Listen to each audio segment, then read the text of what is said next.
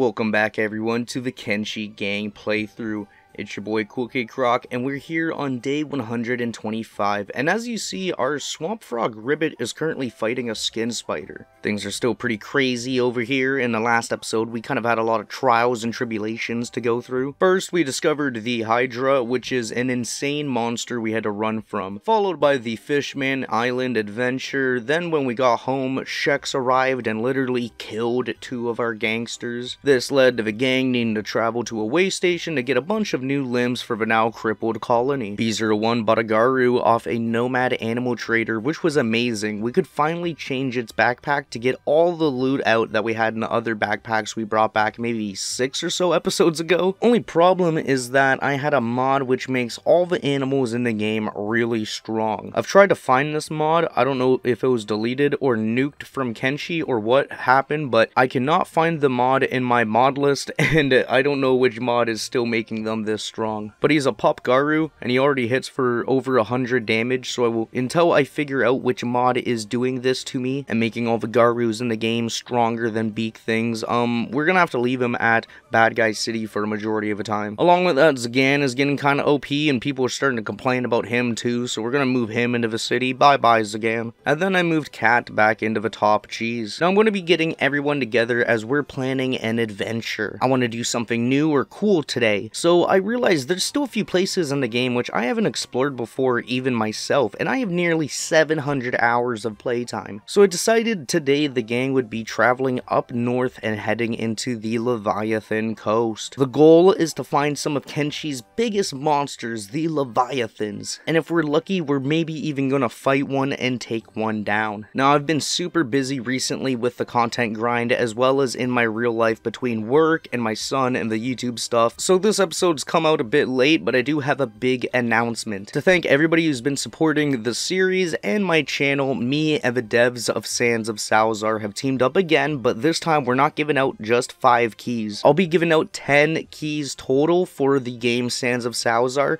plus a DLC code for their newest tournament DLC. If you haven't seen the game yet, check out my 100 Days in Sands of Salzaar video. The game's a lot like Kenshi and Dynasty Warriors and a little bit of Mountain Blade mixed in. I'm planning a few more videos on that game as well. Either way, if you want to enter, all you gotta do is join my Discord in the description below. It's in my link tree, which has the links for all my different social medias. All you gotta do there is join the Discord, go to the giveaway chat, and then enter the little celebration emote. There'll be a button right under the giveaway. I'm running two of these for two weeks each. The first one ends in 14 days, and then we're going to go for another one for 14 days. There will be five winners in each giveaway, and the first giveaway we ran, we only had like 50 to 80 people enter. So come on in, join the Discord, enter the giveaway, and good luck to everyone. And of course, thank you to the Sands of Salzaar devs for supporting this giveaway. With that all said and done, back to the video. The gang will be traveling north, which will hold many challenges for them to face. First, they'd find a few weak bandits, which wasn't too bad, but the group still needs to travel all the way through Hive territory along with the Foglands in order to get close to the top of the map. Luckily, the Hive territory is pretty chill and the gangsters wouldn't find any enemies there. So they would run as fast as possible until they got all the way to the Fog Islands. But instead of entering and going straight through, they would run around the border of the Fog Islands and go farther west until they could travel north without having to go straight through the Fog Islands. I didn't want to have to get stopped by a bunch of groups of fogmen or possibly get injured before we get to the Leviathan coast, as realistically, there's no way we're going to be able to fight Leviathans if everybody's all beat up and injured. So we got past the Fog Islands, and by 5am we were traveling by villages and leading into the Shrieking Forest. Now I knew this would be a big risk. The Shrieking Forest is really dangerous, as we've learned in two separate episodes of the gang series so far. For the first half of the run, it went really well,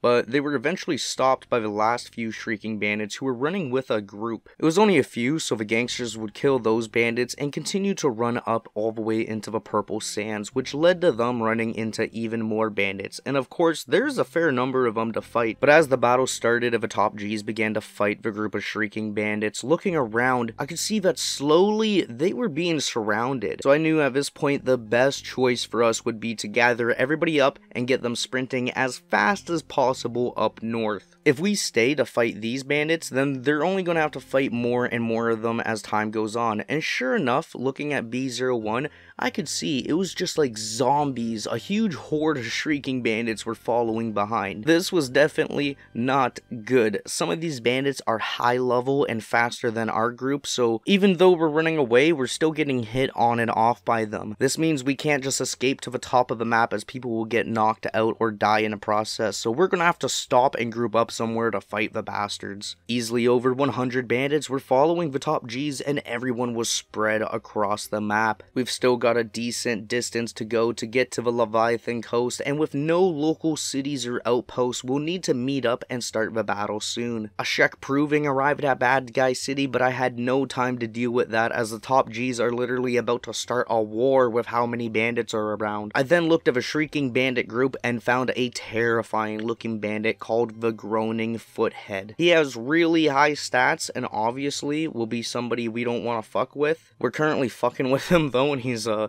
running at us. I plan to get everybody to gather on the outskirts of a floodlands, which is pretty much home to nothing, but there are some wild sailbacks we could lead the bandits into. Poor Ribbit was running for his life through the bandits, attempting to get to the meetup location as well. Beep was the first to arrive, followed by a few others, which was followed by a huge line of mostly shrieking bandits. In between all the bandits, there's the odd gangster who was still catching up and running in between them. This was not good. I mean, we must have attracted all of the bandits within a 20 mile radius. I watched that foot person, he was fighting three of our people, and he took down each of them with just one hit. This has gone way past being not good or being insane, this is just fucked now. There were way more bandits than there were gangsters, and even with the wild sailbacks fighting them, it was not looking good. B01 and others that weren't knocked out yet were fighting, but they still got overwhelmed very fast. I mean, I couldn't really blame them, they had still attracted about a hundred or so bandits just by running through the area. It came down to just being up to B01 and Chompy. With Chompy being able to one-hit a lot of them, it still really wasn't enough to save the gangsters from an insane battle of this size. These footmen were going off, okay? I've never seen them before, but they make an already tough bandit group even more strong and unstoppable. Of course, B01 would hold his own for as long as possible, but as different gangsters got back up for battle, Crispy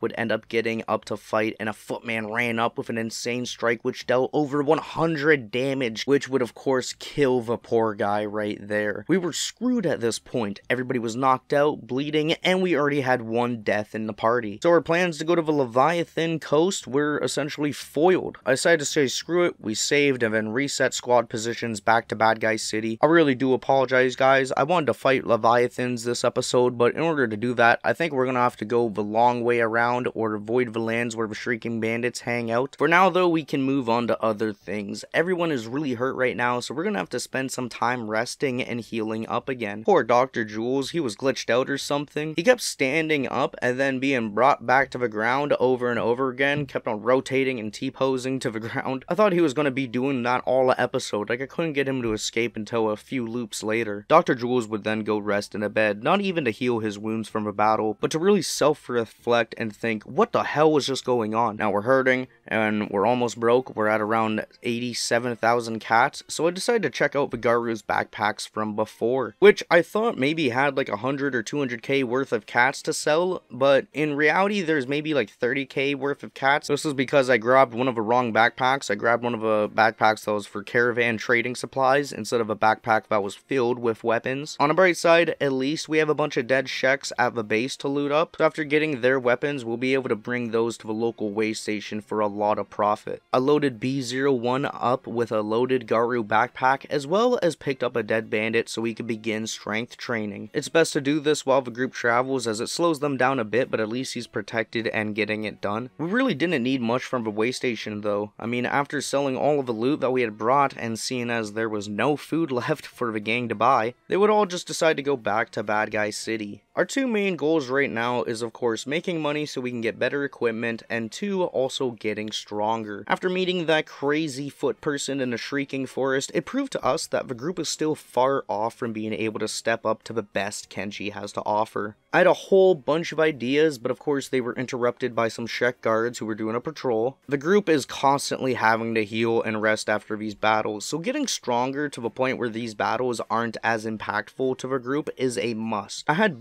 B01 walking in and outside of a city walls for strength training when it kinda hit me. What if I was able to build a really long walkway for him, or perhaps something like a maze so it'd be easier to strength train? So it began, the coolest idea I've had in a while. I began preparations and laid down all the blueprints for what will become our strength training maze. The goal is to make it so that there is one start and one finish, so each time we click back and forth, the characters will travel at a safe speed to the end of a maze and then click the entrance so they do it again. We'll fill up their backpacks and overload them with weight as well as get them to carry somebody and essentially just repeat walking back and forth like that until we hit the desired strength level. Of course it's Kenshi so the building is a bit wacky but it's nothing I'm not used to. You guys gotta remember, I used to live with my baby mom, so I can practically do anything under pressure. I closed off a box shape for the maze right next to Bad Guy City and began to set up the walls in between it. I'd be making straight walls with a hole on each end of a line, that way they could get to the end. By the end, it looked pretty insane, but I gotta say it looked really good. I used basic walls, so they'll only cost one building material each, but we're still looking at around 200 to maybe 300 building materials, plus a lot of work to be done. The gangsters of Bad Guy City would begin to start to build the basic walls and setting up the maze, while Beezer 1 continued his strength training, but by 12 p.m. of day 128, most of Bad Guy City would be targeted by some traveling Sheks who knocked out all of our people, even decapitating one of Toro's arms. Luckily, B01 had an extra arm to give Toro, as well as Zagan was there, so he could take care of his Sheks, but a majority of our gangsters were injured again, so it slowed down progress on the maze quite a bit. That's when I decided to have B01 try to walk through the maze, to which I learned a lot of terrain and pathways that I built around were inaccessible. Oh no!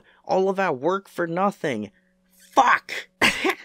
okay, so so I made some changes to the design. It would shorten the maze length a bit, but hey, at least it'd be usable and close to what I was going for. We'd be able to go from start to finish, so I poked some holes into the wall in certain locations where you weren't able to move until B01 was on path to travel from the start to the end. The funny thing is, we don't even need building materials. I mean, you could legit build one of these in the middle of nowhere, and since the path is already laid out, they'll just continue going down the path. But of course, I'm going to continue construction so it looks nice when it's done and it doesn't look like this the entire series. By afternoon time of day 129, everyone was pretty much back to work while B01 did his laps. We've got a long way to go, but in the next episode, I plan to strength train a lot and maybe get some skeletons so we can start to do some additional training. I want to thank everybody who's been supporting the series and my content so far. This episode is a bit late. I've been working a lot in real life and lots of other content related stuff, but I'm trying my best to do my best. Hopefully, I'll have the next episode up by next Sunday. Make sure if you didn't already, check out the giveaway in the description through the link tree by joining the Discord. I'll be running two for the next month as well as more in the future through it, so join while you can. As always, thank you guys for watching, and I'll see you in the next one. Peace.